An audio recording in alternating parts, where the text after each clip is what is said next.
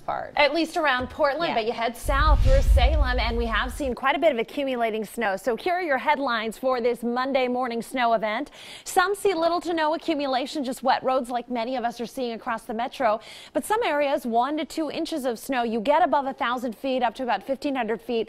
I've had reports up to six inches of snow this morning. No widespread morning commute issues. That's in the lowest elevations along the I-5 corridor, especially around the Portland-Vancouver metro area. But localized slowdowns definitely a possibility because of the snow that we're seeing out there, especially in the hills around town. Any snow that does accumulate here in the Willamette Valley will melt off this afternoon as we see sun breaks and temperatures climb into the 40s. So let's break it down for you. Winter weather advisory completely surrounding the Portland metro area, but Portland not included. Neither is Vancouver or Kelso or Longview. Out in the coast range, a winter weather advisory until 4 this afternoon. So snow showers continue into the afternoon there.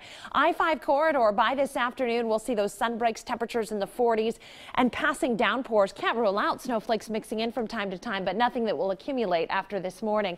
So this winter weather advisory through Salem until 10 this morning, up to two inches of snow possible. You get into the Cascade foothills above 1,500 feet there, four to eight inches of snow today with a lot more on the way tomorrow. So here is radar. You can see widespread shower activity up and down I-5. Some of us briefly catching a break just east of downtown Portland, but then showers pick up again out west.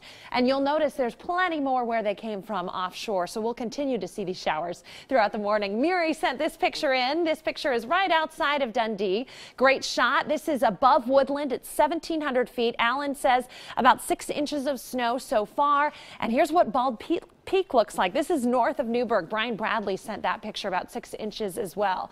So here's a look at your weather pattern. Cool air for the beginning of the week. That's why we're seeing widespread snow even in the lowest elevations. But that retreats back up to Canada with a storm track still taking aim on the Pacific Northwest all the way through the week. So very active weather as we head through this week. The wettest day looks to be tomorrow. So scattered snow showers this morning on your rain and cloud forecast. Sun breaks this afternoon and downpours. Can't rule out small hail mixing in from time to time.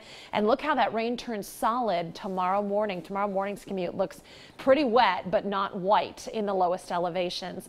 Passing showers continue Wednesday, scattered showers Thursday, Friday, Saturday, and Sunday. So a chilly and damp seven day forecast, Carly.